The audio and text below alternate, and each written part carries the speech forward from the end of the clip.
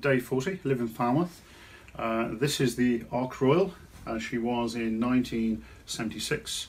I commenced building her from scratch back in 1992 and now 25 years later we're just about finished and preparing to take her away to Alexandra Palace for the International Modelling Exhibition in 2018. Um, she has been a, a weighty project for me for a number of years and starting from initially getting the plans from Greenwich Maritime Museum, um, sketching out the hull um, and developing it and building it uh, from uh, from basically from uh, wood.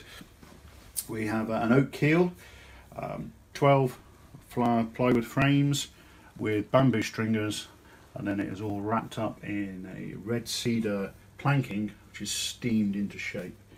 Uh, a dear friend of mine, the late Wilf Burrows, uh, Plato and Falmouth Docks, taught me the technique of steaming wood and uh, this now is the end result. The, the carrier um, is fully radio control. She works, she floats, she has four motors independently controlled by a radio control unit um, and she behaves just as the real ship did back in the 1970s.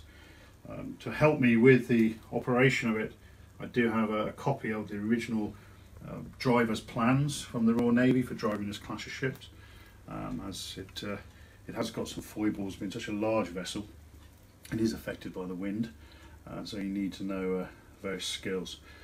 Um, the aircraft, which is the main feature, we have starting at the front, um, we have Phantoms, these were the F4 McDonnell Douglas Phantoms for the Royal Navy.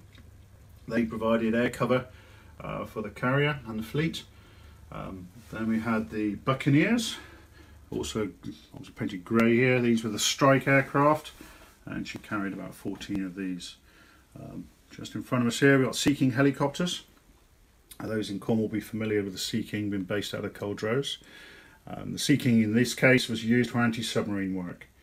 Um, further down, we have the Gannets, these aircraft, ungainly looking things, but they mounted a large radar underneath and provided radar coverage for the protection of the fleet.